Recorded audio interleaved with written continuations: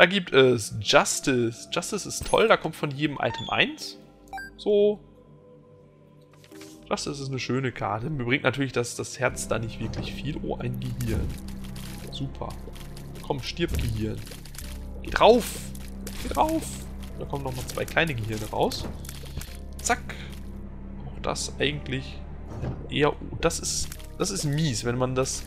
Da weiß man nämlich nicht so genau, wo die lang gehen. Ja, aber wenn man genau in der Mitte bleibt, scheint es völlig unproblematisch zu sein. Also wenn die Räume sehr verwinkelt sind, ist das natürlich fies mit diesen Dingern, die immer die Wand lang gehen. Geheimraum? Ja, Geheimraum. Und da gibt es 99 Bomben schon wieder. Na gut, wir nehmen dann demnächst auch wieder die Geheimräume mit. Zumindest sieht es danach aus. Was haben wir hier? Hier haben wir ein weißes Herz. Oh, fein. Das wäre natürlich jetzt sehr, sehr. Ich überlege gerade, wie das genau funktioniert. Ne? Ich gehe erstmal weiter. Ich nehme das nämlich erstmal nicht mit. Wenn ich den Boss aber schaffe, dann kann ich das blaue Herz, äh, das weiße Herz nehmen.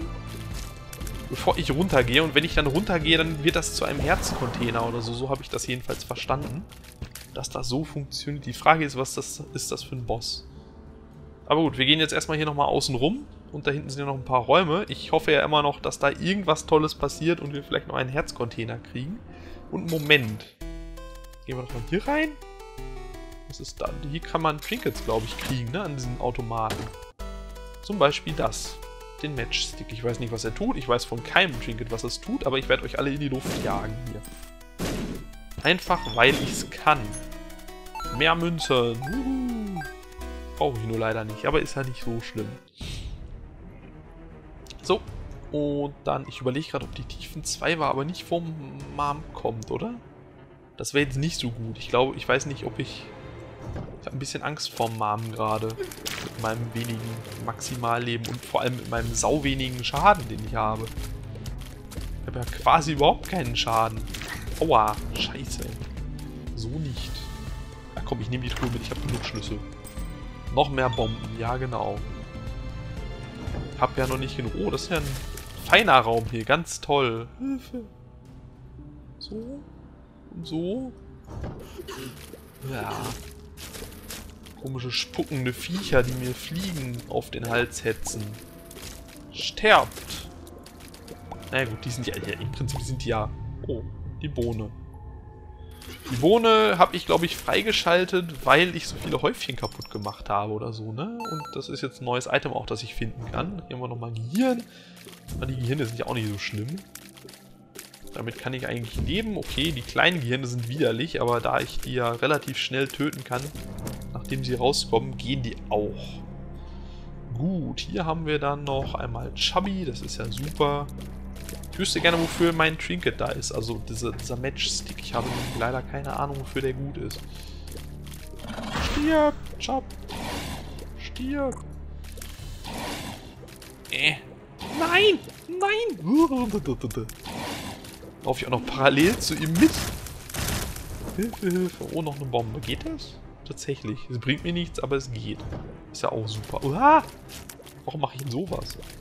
Das war auch ziemlich dämlich. Und mir fällt gerade auf, ich hatte tatsächlich auch noch nicht den Itemraum in dieser Ebene. Das ist natürlich praktisch, dass ich wirklich auch noch weitergegangen bin. Ich war nämlich schon kurz davor, einfach zum Boss zu gehen. Weil ich so gespannt bin auf das weiße Herz und, und, und meine neuen Leben und überhaupt. Egal, erstmal rein hier. Ähm, sieht nach Holy Water aus. Ich weiß nicht, was es ist. Don't spill it. Ähm, und jetzt? Was macht denn das? Hallo? Was, was macht das Holy Water? Ich habe ein Holy Water. Okay, von mir aus. Dann haben wir halt ein Holy Water. Vielleicht erfahren wir es ja noch. Ich hätte jetzt zum Beispiel erwarten können, dass es auch ein Leben ist, aber da oben steht immer noch mal 9. Die Sache ist, ich glaube, es kann auch nicht mehr als mal 9 da stehen. Aber keine Ahnung, wie das uh, programmiertechnisch umgesetzt wurde. Ich glaube aber tatsächlich, dass 9 da das Maximale ist, was da angezeigt werden kann. Sprich, selbst wenn ich jetzt 10 hätte, würde das da nicht stehen. Man kann das. Ich glaube, man kann mehr kriegen. Man kann zumindest mehr Herzen kriegen, als da oben Platz für ist. Dann sind die quasi so dahinter angezeigt oder sowas, weiß ich, irgendwie so in der Art. Das geht. Aber was jetzt genau mit dem Leben ist, ich habe keine Ahnung. Egal. Auf geht's zum Boss. Ich werde das weiße Herz natürlich erstmal nicht mitnehmen und hoffen, dass ich den Boss so schaffe. Ich habe ja neun Versuche. und dann könnte ich vielleicht noch einen Herzcontainer kriegen. Und ja, es ist tatsächlich schon Mom. Das ist nicht gut. Ich nehme jetzt erstmal den Hankman. Kann ich nämlich fliegen. Hier über die Steine zum Beispiel.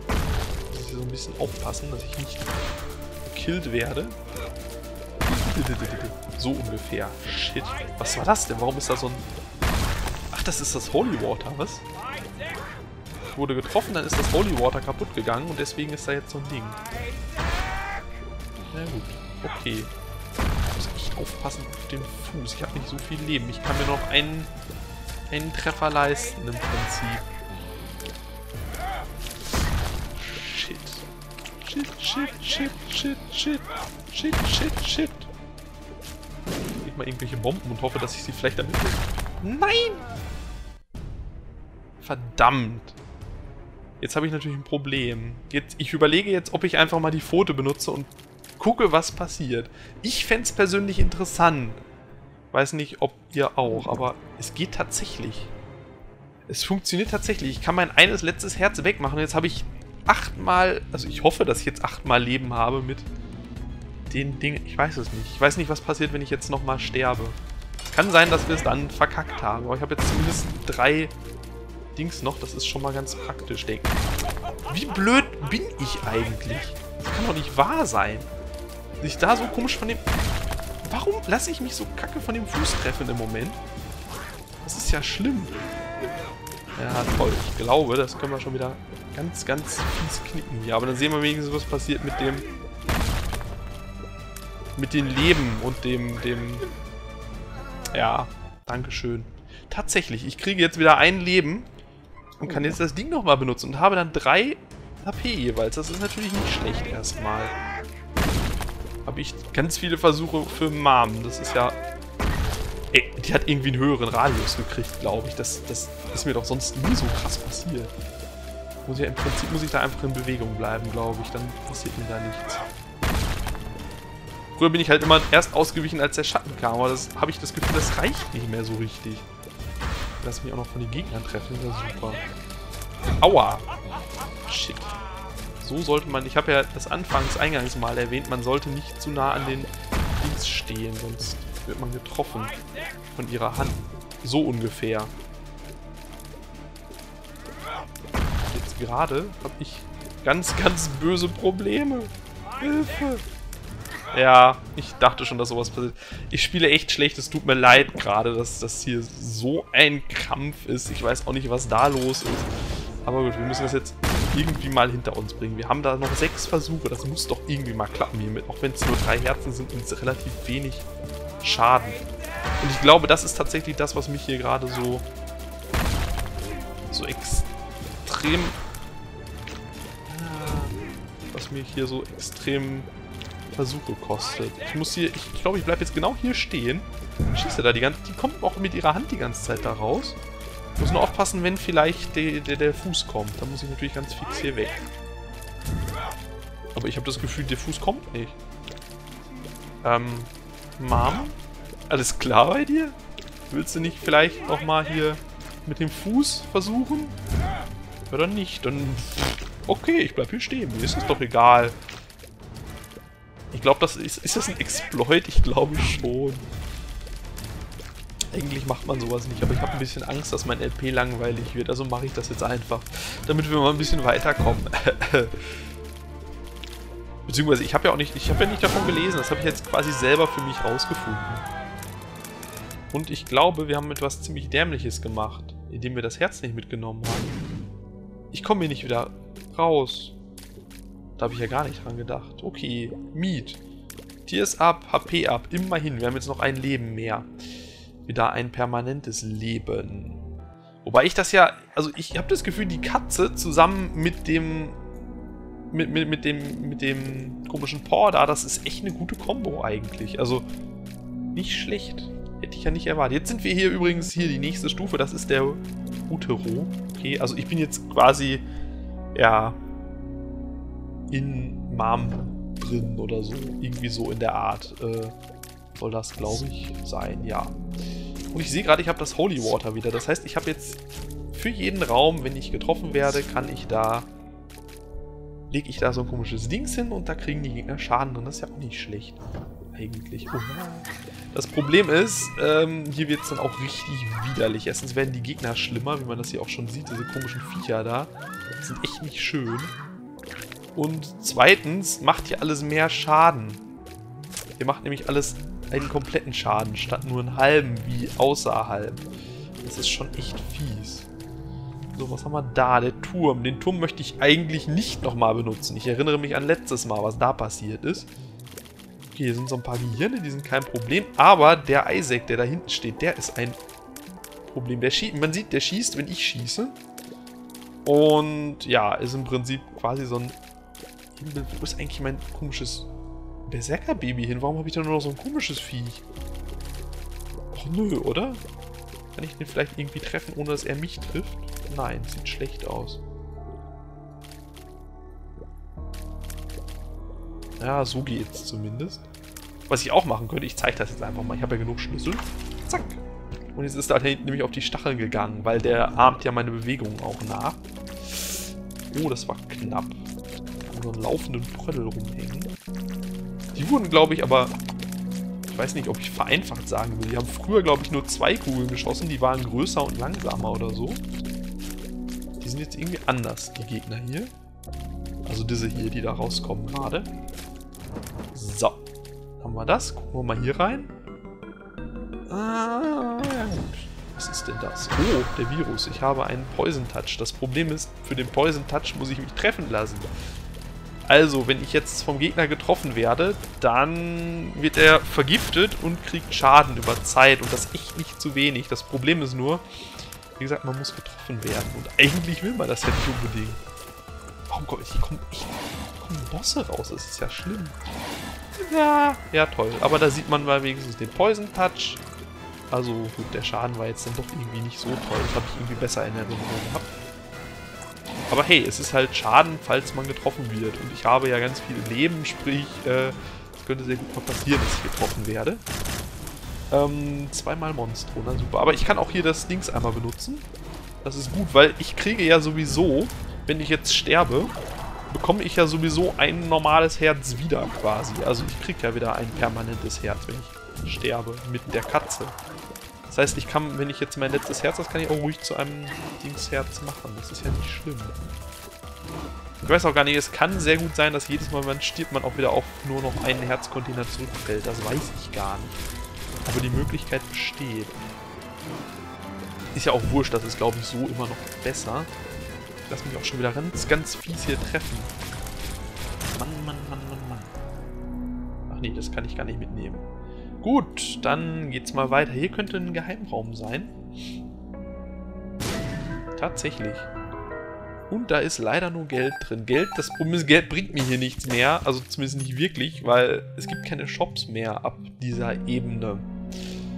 Das ist dann natürlich blöd. Jetzt habe ich 84 Münzen und nichts davon. Deswegen habe ich mich... Oh, das sind neue Gegner, glaube ich.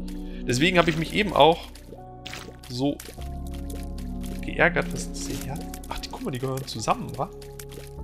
Deswegen habe ich mich eben auch so geärgert, dass in dem anderen Dings dann Greed noch drin war, weil da habe ich natürlich dann gar nichts von. Ich habe den letzten Shop, den es gab, quasi in diesem Run, nicht nutzen können. Das ist ein bisschen scheiße. Entschuldigung. Entschuldigung, sowas sagt man natürlich nicht. Was haben wir da? Der Ch Chariot. Ich weiß gar nicht. Ach, doch, ich weiß, was der Chariot macht und ich freue mich schon drauf, den zu benutzen, ehrlich gesagt. Das werdet ihr dann auch noch früh sehen, denn wir werden den auf jeden Fall benutzen. Der ist nämlich ziemlich gut. Wenn es der ist, der ich denke, der es ist, aber der wird es sein. Was ist das denn für ein komisches Gehirn? Kann sein, dass das ein großes ist von den Dingern, die wir da gerade töten. Also diese komischen Eckviecher da. Oh, da kommen tatsächlich auch welche raus. Das ist ja irgendwie sehr ungefährlich hier. Da gibt es noch ein blaues Herz für. Dankeschön. Das nehme ich doch dankend an. Herrlich. Ich sehe gerade, dass wir schon... Ah, Hilfe, ich habe ein bisschen Angst gerade. Hilfe! Ich sehe gerade, dass wir schon eine gute Stunde hier aufnehmen. Gut, da ist noch mein Soundtest am Anfang mit bei. Also es ist noch nicht ganz eine Stunde. Aber das ist ein ganz schön langer Run hier. Meine Güte. Die sind auch, mag ich auch irgendwie nicht so richtig. Ah, ja, genau, toll. Sehr gut, direkt wieder das Herz, was ich eben gekriegt habe, verballert.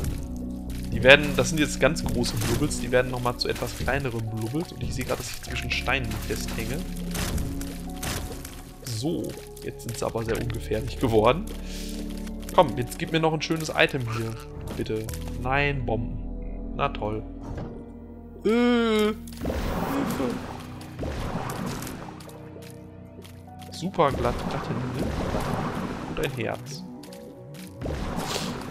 Eigentlich sind die ja nicht schlimm, die Glatini-Typen. Die sind hier dann natürlich noch ein bisschen nerviger. Das Problem ist, wenn hier viele sind oder die Räume sehr verwinkelt sind, dann kann das echt mies sein mit den Viechern. Aber wenn man so normale Räume hat wie hier... Autsch. Wie hier jetzt gerade, ist das natürlich nicht so schlimm. Ich kann mal ganz kurz versuchen. Ich muss ein bisschen aufpassen. So, jetzt direkt wieder hin. Wie? Hallo? Macht der Schaden, wenn ich ihn berühre? Das war mir aber neu, das wusste ich gar nicht. Das ist natürlich scheiße. Dann machen wir es halt doch auf die herkömmliche Art und Weise. Also herkömmlich in Anführungsstrichen. Ich glaube, die herkömmliche Art und Weise wäre die, die ich benutzt habe. Aber ich komm, ich gehe mal hier unten rein. Ach, scheiße, das macht ja jetzt auch zwei Herzen.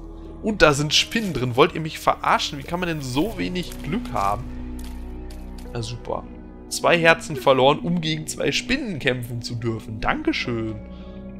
Oh Mann. Was passiert eigentlich, wenn ich jetzt nochmal... Nee, ich kann die Paw nicht nochmal benutzen. Schade eigentlich.